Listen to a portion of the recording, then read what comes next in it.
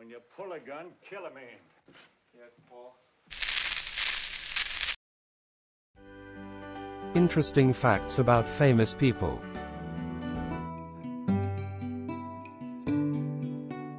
Early Western actors. Having listened to you guys about who you want to see when it comes to Western actors, I've made this initial video based on some of the earliest Western stars to jump onto the silver screen.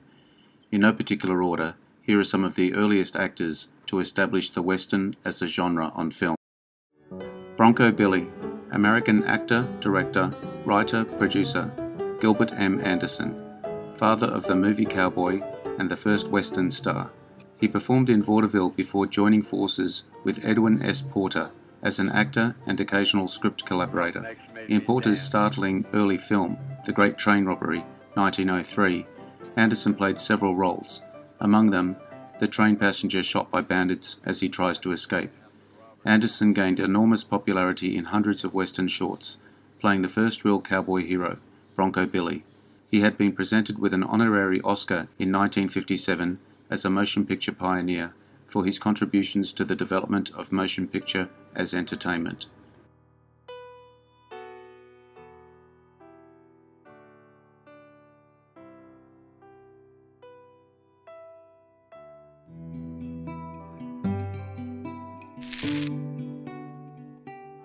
Gene Autry, Orvon Grover, Gene Autry, 1907 to 1998. The Singing Cowboy was a songwriter, singer, musician, actor, rodeo performer, and baseball team owner who gained fame by singing in a crooning style on radio, films, and television for over three decades, starting in the early 30s. Autry appeared in 93 films from 1934 to 1953. Between 1950 and 1956, hosted The Gene Autry Show on TV. During the 30s and 40s, he represented the straight shooting hero, brave, honest, and authentic.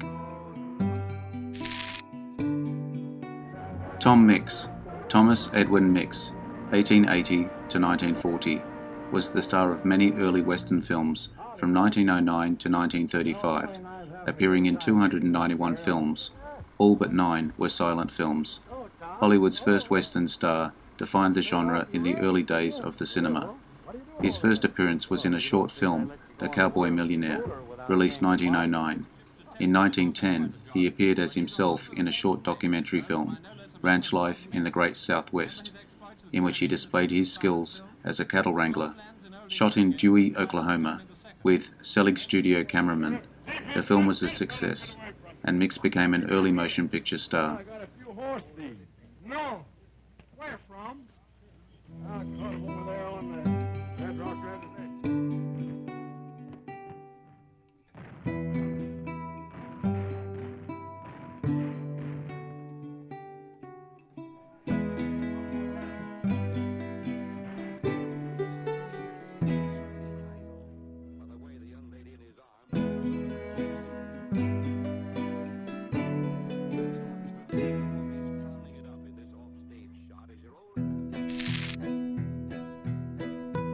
Audie Murphy, actor and songwriter, one of the most decorated American combat soldiers of World War II, receiving every military combat award for valor available in the US Army and French and Belgian awards for heroism.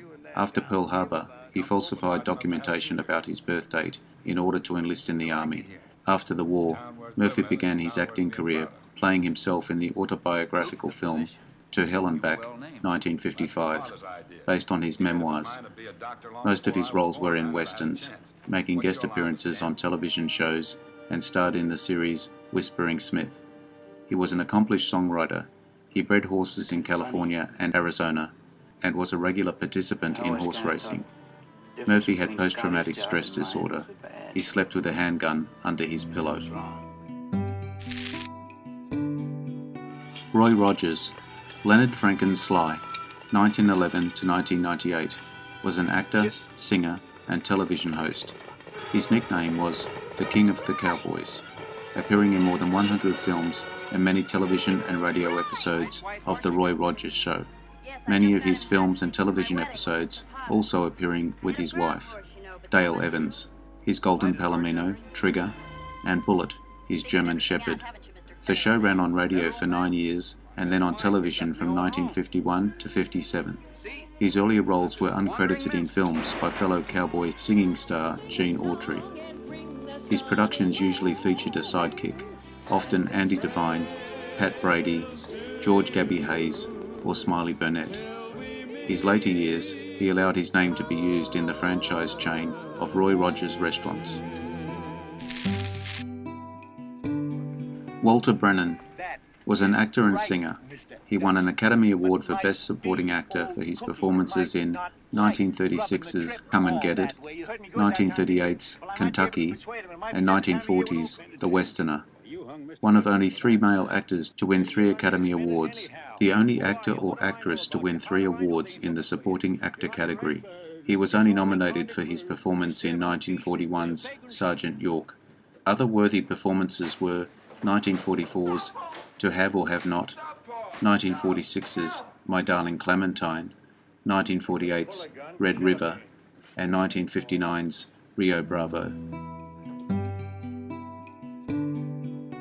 I hope you enjoyed the video. Let me know what you think in the comments. I appreciate your likes and subscribers.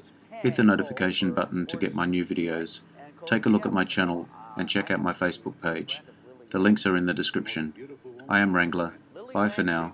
See you again soon.